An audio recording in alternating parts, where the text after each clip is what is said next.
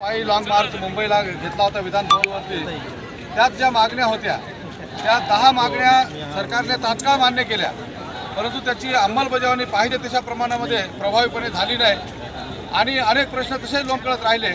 आणि म्हणून आम्ही पुन्हा तेच प्रश्न सोडवण्यासाठी पुन्हा लॉंग मार्चची तयारी केलेली आहे.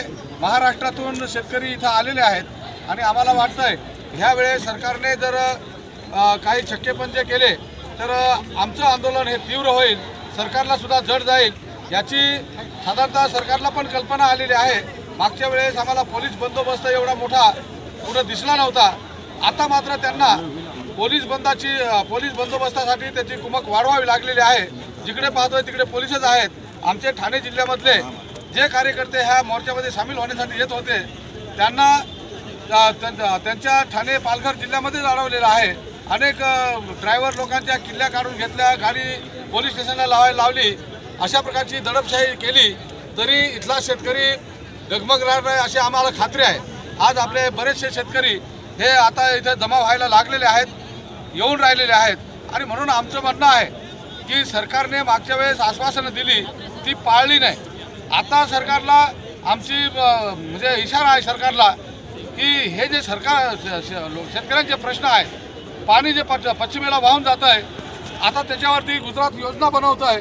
पण इथल्या शेतकऱ्याला मात्र ते पाणी मिळणार नाही अशा प्रकारची म्हणजे लोकांची निराशा झालेली आहे. आमचं म्हणणं आहे महाराष्ट्राचं पाणी हे महाराष्ट्राच्या खानदेश त्याचबरोबर विदर्भ आपल्या मराठवाड्यातील दुष्काळी जिल्हे आहेत. जे पावसाळ्यामध्ये पण दुष्काळ उन्हाळ्यामध्ये पण दुष्काळ. अशा जिल्ह्याच्या शेतकऱ्यांना ते पाणी गेलं पाहिजे. पिण्यासाठी तर मिळालंच पाहिजे. परंतु त्यांच्या शेतीसाठी मिळालं पाहिजे. आणि हे पश्चिमेचं पाणी सगळं जर उचललं तर सबंध महाराष्ट्र सुजलाम सुफलाम होईल याची आम्हाला खात्री आहे. ते पाणी एवढं मोठ्या प्रमाणामध्ये आहे की पुर प- पूर्वेकडे जर उचललं तर जायकवाडीसारख्या अजून दहा पंधरा धरणं हे पाण्याने भरतील अशा प्रकारची आम्हाला खात्री आहे. आणि म्हणून सरकारने इतरत्र पैसे खर्च करण्यापेक्षा पहिला शेतकऱ्यांचा जिव्हाळ्याचा प्रश्न आहे पाण्याचा त्या प्रश्नावरती पाहिजे ते खर्च होतील. सी एस आरमधून फंड उभा करा सरकारच्या केंद्र सरकारकडून मागवा पण ही योजना राबवून सरकारने पश्चिमेचं पाणी आपल्या मराठवाडा आणि खानदेशला आणि दुष्काळी जिल्ह्यांना तालुक्यांना दिलं पाहिजे असे ह्या मागणीसाठी आम्ही जातोय. त्याचबरोबर इतर त्याच्याबरोबर मागण्या आहेत. मागच्या वेळेस वन जमिनीचा प्रश्न आम्ही घेतला होता. त्याचा फक्त नाशिक जिल्ह्यामध्ये अंमलबजावणी झाली पण महाराष्ट्रामध्ये त्याची अंमलबजावणी फार मोठ्या प्रमाणामध्ये झाली नाही. त्याचबरोबर लहानसा भाग आहे म्हाताऱ्याचं पेन्शन. त्या पेन्शनचं म्हणजे त्या मुख्यमंत्र्यांनी सांगितलं की आम्ही ते वाढवतो वाढवतो. आतापर्यंत वाढवलं गेलं नाही. अनेक प्रकरणं त्यांच्या तहसील ऑफिसमध्ये पडून आहेत. तहसीलदार त्याच्यावरती कुठल्याच प्रकारची कारवाई करत नाही.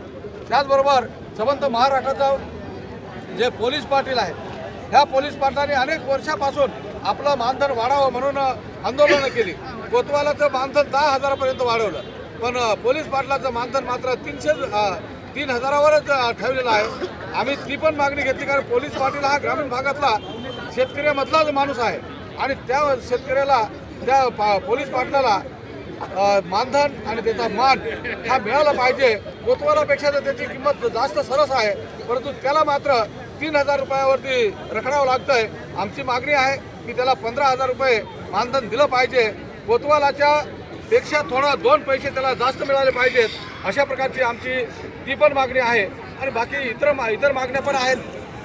इरिगेशनचे प्रश्न आहेत. ज्या भागातून पाणी उचललं जाईल तिथल्या शेतकऱ्याला सुद्धा कुठल्याही प्रकारचा नाडलं जाणार नाही. तिथल्या शेतकऱ्यावर अन्याय होणार नाही. त्याच्या जमिनी उडणार नाही किंवा त्याला विस्थापित होता येणार नाही अशा प्रकारची काळजी घेऊन तिथल्या लोकांशी अत्यंत म्हणजे जरा विचार विनिमय करून आणि मग ही योजना राबवावी जेणेकरून दुष्काळी तालु दुष्काळ दुष्काळी प्रदेशाला पाणी मिळेल आणि जिथून पाणी येतं आहे तिथले माणसंसुद्धा विस्थापित होणार नाही अशा प्रकारचं अत्यंत समतोल अशा प्रकारचं योजना बनवून आणि हे राबवलं पाहिजे अशा प्रकारची आमची मागणी आज सरकारकडे आम्ही ठेवतोय.